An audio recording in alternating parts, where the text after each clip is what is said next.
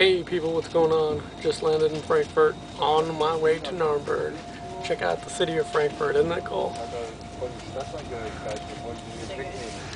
I'll be posting this on YouTube later on, so uh, you can check it out then. Later.